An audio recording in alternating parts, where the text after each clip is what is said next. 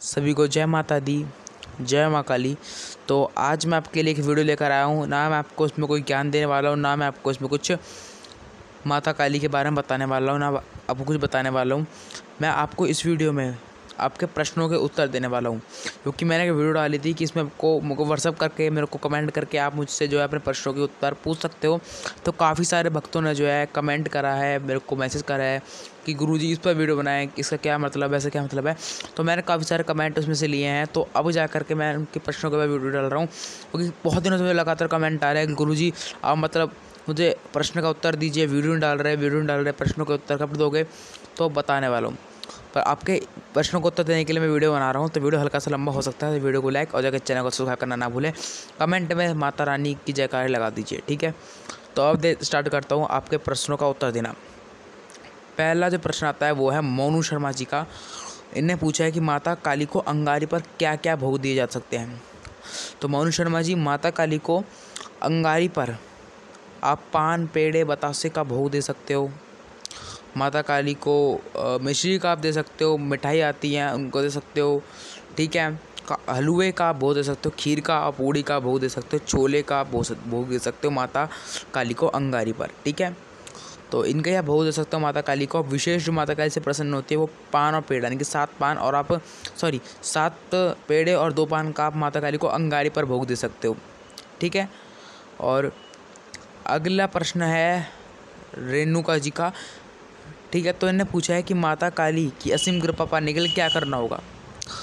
तो माता काली की असीम कृपा पाने के लिए आपको सबसे पहले परहेज करनी होगी लहसन प्याज का त्याग करना होगा, माता काली की दुर्गा चालीसा, काली चालीसा, हनुमान चालीसा, इनका पाठ करना होगा, माता काली के बीज मंत्रों का, जैसे कि बीज मंत्र दे रखा है वो कई वीडियो दे रखा है, ओम किरिंग काली का नामा, इन मंत्रों का आपको जाप करना करो रुद्राक्ष की माला से, और जितना टाइम मिले इस मंत्र का जाप करो तो माता काली की कृपा आपको प्राप्त होगी इससे। माता काली की ज़्यादा ज़्यादा भक्ति करो, ठीक है? अगला शर्म अगला जो प्रश्न है वो है, इनका कोई नाम नहीं है, इनका इनका नाम यह है माँ काली की भक्तिनी। तो जिनने भी कमेंट करा है वो समझ जाएँगी, ठीक है? तो इनने पूछा है कि भोले बाबा को घर में भाँग दतूरा चढ़ा सकते हैं। तो हाँ भोले बाबा को भाँग दतूरा आप घर में चढ़ा सकते हो, ठीक है? तो आप चढ़ा सकते हो भोले बाबा को भाँग दतूरा, ठीक है? अगला जो प्रश्न है वो है, हनुमान भक्त का, इनका नाम चैनल का नाम है हनुमान भक्त है तो इनने प्रश्न करा है कि हनुमान जी को चोला चढ़ाना, चोला चढ़ाने के लिए क्या क्या सामान होता है। तो जिन्हें प्रश्न करा वो समझ जाएँगे। हनुमान जी को चोला चढ़ाने के लिए आपके वो सामान जो होता है, वो होता है, पहले आपकी चांदी की वर्ग आती है, चमेली का तेल आता है, दो सिंदूर के वो पैकेट आते हैं, साथ में हनुमान जी का प्रसाद आप लेते हो लंगोट, जनेऊ ठीक है? और इत्र, ये आपका सामान प्रयोग होता है। दुपत्ती माचिस से सब प्रयोग होता है हनुमान जी को चोला चढ़ाने के लिए। हनुमान जी को चोला चढ़ाने के नियम भी है। अगर आप चाहो तो कमेंट कर देना, मैं उसको, उसके लिए अलग वीडियो बना दूँगा कि हनुमान जी चोला चढ़ाने के क्या क्या नियम है। अगला प्रश्न। अगला प्रश्न है मीनू वर्मा जी का। मीनू वर्मा जी ने पूछा कि माता काली की सवारी किस प्रकार से प्राप्त कर सकते हो? कर सकते हैं। इसके ऊपर वीडियो बनाए। तो बताता हूँ, माता काली की सवारी पर आप कैसे कर सकते हो? उसके ऊपर मैंने पहले से एक चैनल पर वीडियो डाली हुई है, लेकिन फिर मैं बता देता हूँ कि माता काली की सवारी आप कैसे प्राप्त कर सकते हो। लहसन पाँच का परहेज करना होगा, माता काली की भक्ति करनी होगी, भक्ति में लीन रहना होगा, और ज़्यादा सारे मंत्रों का जाप करना होगा, बीज मंत्रों का, कृप मंत्रों का, और महाकाली की भक्ति करनी होगी। और ज़्यादा जानकारी लेने के लिए मैंने वीडियो डाली पड़ी चैनल पहले से ही। लिस्ट पर जाकर आप सर्च कर देना माँ काली की सवारी कैसे प्राप्त करें तो वीडियो निकल आएगी तो आप उसमें प्राप्त जानकारी ले सकते हो कि माता काली की सवारी कैसे प्राप्त करें ओके आई आपको, आपके सवाल का आंसर मिल गया होगा सभी को। तो ये तीन प्रश्न और हैं। तो तीसरा प्रश्न जो है सॉरी जो यार प्रश्न है, इसमें लिखा हुआ है, इनका नाम रेणुका, ठीक है, रेणुका शर्मा। इनने पूछा कि माता काली माता काली के साथ कौन सी शक्ति चलती हैं? इसके ऊपर मैंने पहले वीडियो वीडियो डाल चुका हूँ कि माता काली शक्ति तो अनेक शक्ति चलती हैं। कई शक्ति चलती है मरगट की देवीय शक्ति ग्रामीण शक्ति, जो ग्रामीण देव देवताओं की शक्ति, अनेक शक्ति चलती है।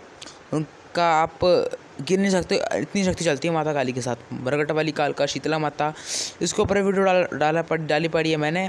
लिस्ट में मिल जाएगी आपको, ठीक है? और अगला प्रश्न। अगला जो प्रश्न है थोड़ा अजीब है, इसमें लिखा हुआ है कि माता काली का बीज मंत्र, ओम क्रिंग काली का नाम इस मंत्र का हम जाप कर सकते हैं। तो हाँ बिल्कुल कर सकते हो, ऐसा कोई मना नहीं है कि ऐसे गुरु जो, गुरु धरण वाले लोग हैं, वही जाप कर सकते हैं, या फिर जो जिनमें ज़्यादा सिद्धि साधना है, वही इस मंत्र का जाप कर सकते हैं कोई भी इसका मंत्र का जाप कर सकता है, ठीक है, ऐसा कोई बात नहीं है।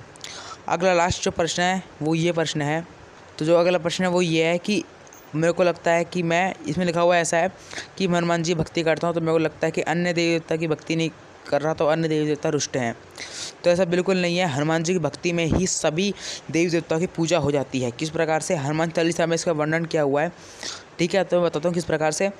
इसमें लिखा हुआ है, हनुमान चालीसा में अष्ट सिद्धिन दिन का दाता, अश्वर दिन जानकी माता। यानी कि हनुमान जी के अंदर ही सभी देवी देवताओं का वास है, उनकी शक्ति है। तो आप हनुमान जी की पूजा करोगे, राम जी की पूजा करोगे तो उसमें सभी देवी देवता की पूजा हो जाएगी। ठीक है? तो आई होप आप सभी को, आ, को आपके प्रश्नों का जवाब मिल गया होगा और ऐसे ही आप लोग सपोर्ट करें। और ज़्यादा ज़्यादा लोगों ने मुझे व्हाट्सएप पर पर्सनली मैसेज करा है। तो मैंने वीडियो बना दी है तो वीडियो को लाइक करना चैनल को सब्सक्राइब करना कमेंट में जय श्री राम लिखना ना भूले। जय महाकाली जय महाकाल का